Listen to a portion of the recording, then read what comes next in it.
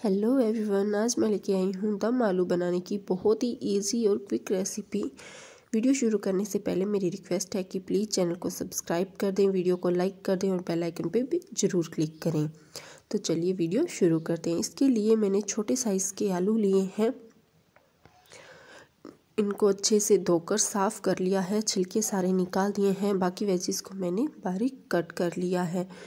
मैंने टमाटर, प्याज और हरी मिर्च लिए हैं। आलू को इस तरीके से छिलके निकालने के बाद चाकू की हेल्प से या फोक की हेल्प से हमें इस तरीके से इनमें छेद कर देने हैं ताकि जब हम इन्हें ऑयल में पकाएँ तो ये इजीली अंदर तक पक जाएँ। बिल्कुल भी कच्चे ना रहें, इसलिए हमें इनमें इस तरीके से छेद करने होते हैं। सभी आलू में ही इसी तरीके से हमें छेद करने हैं। सारे आलू में अच्छे से हमने छेद कर लिए हैं। अब एक कढ़ाई में थोड़ा ऑयल गरम करेंगे और इसमें एक एक कर करके आलू को ट्रांसफ़र कर देंगे।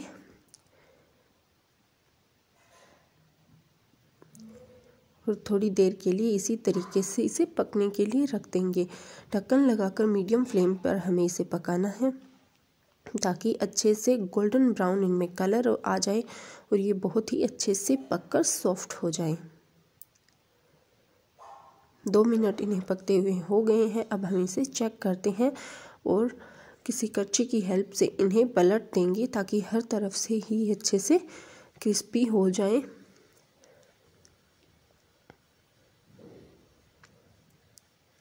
दो से चार मिनट के बीच इनको टाइम लगता है। ये अच्छे से क्रिस्पी हो जाते हैं और पूरे तरीके से सॉफ्ट हो जाते हैं। आप देख सकते हैं कलर भी कितना अच्छे से चेंज हो चुका है।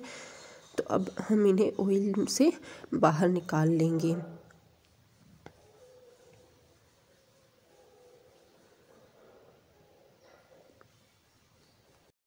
सेम ही कढ़ाई में ऑयल को हमें थोड़ा कम कर देना है और उसमें हम डालेंगे जीरा। ऑयल हमारा गर्म था, इसलिए जीरा अच्छे से फटने लगा है। अब हम इसमें ऐड करेंगे बारीक कटा हुआ प्याज।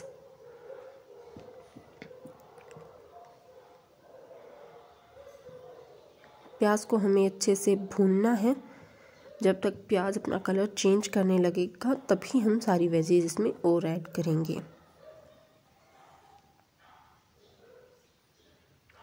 अब हम इसमें ऐड करेंगे नमक। नमक की वजह से प्याज इजीली पक जाता है।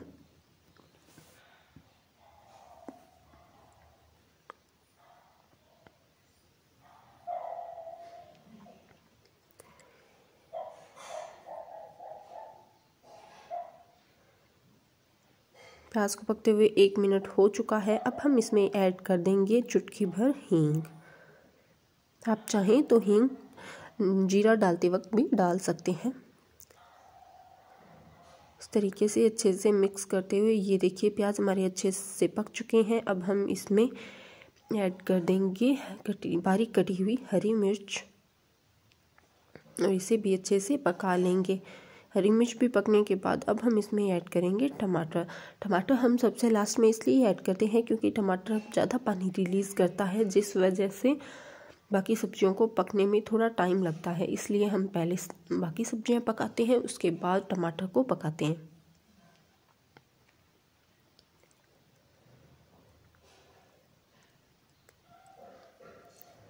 अभी इन सब्जियों को अच्छे से मीडियम फ्लेम पर हमें पाँच मिनट तक पकाना है। पाँच मिनट में बिल्कुल अच्छे से गल जाएँगी।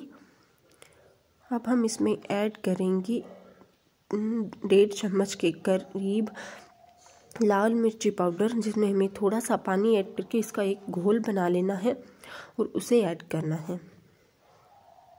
तो इस तरीके से हमें लाल मिर्ची का एक घोल बनाकर इसमें ऐड कर देना है और इसे तब तक पकाना है जब तक ऑयल सेपरेट ना हो जाए। और इसे अच्छे से मिक्स कर देना है।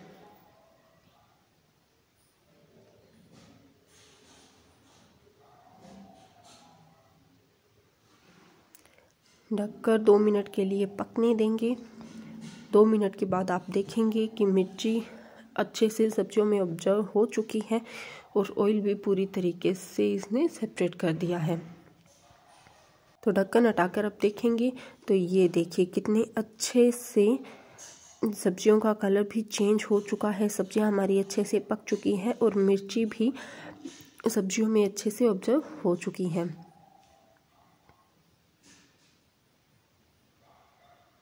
फिर भी एक मिनट के लिए इसे और पकने देंगे। जो भी एक्स्ट्रा पानी है वो निकल जाएगा। थोड़ी सी हल्दी ऐड की है। आधा चम्मच के करीब मैंने हल्दी ऐड की है इसमें। उसे भी अच्छे से इसमें मिक्स कर लिया है। आप जो बेसिकली सब्जियों में मसाले ऐड करते हैं, वो सभी मसाले इसमें ऐड कर सकते हैं। आप देख सकते हैं कितना अच्छा टेक्सचर आया है। अब हम इसमें ऐड करेंगे फटा हुआ दही।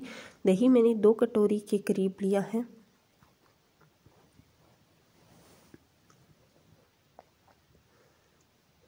विस्कर की हेल्प से मैंने अच्छे से इसे फैट लिया है। और बिल्कुल भी हमें इसमें पानी ऐड नहीं करना है। अभी अच्छे से इसे मिक्स करके सारा जो सब्जियों का, मसालों का जो पेस्ट था, वो उसमें हमें ऐड कर देना है। अच्छे से मिक्स कर देना है। इस तरीके से मिलाते हुए हमें इसे दो मिनट के लिए पकाना है।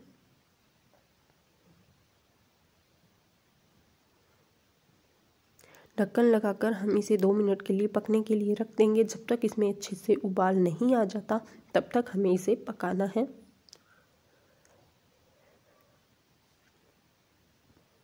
इसमें उबाल आ गया है। अब हम इसे चेक करते हैं। तो ये देखिए कितने अच्छे से उबल रहा है। एक बार करछी की हेल्प से सब चीज़ों को अच्छे से मिक्स कर देंगे। उसके बाद अब हम इसमें ऐड करेंगे जो हमने आलू फ्राई किए थे, वो।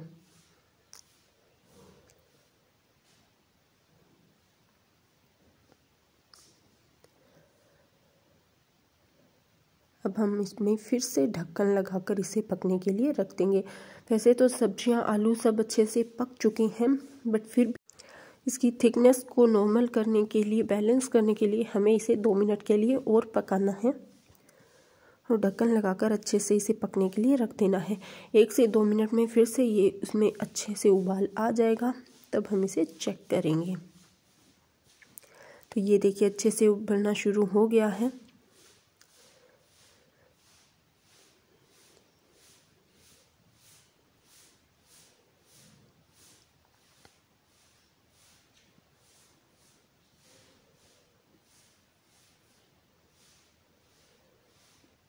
अब हम इसमें ऐड करेंगे। कसूरी मेथी।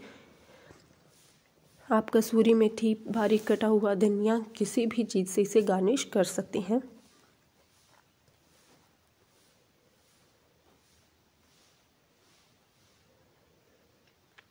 कसूरी मेथी को अच्छे से मिक्स करने के बाद अब हम गैस की फ्लेम को ऑफ़ कर देंगे।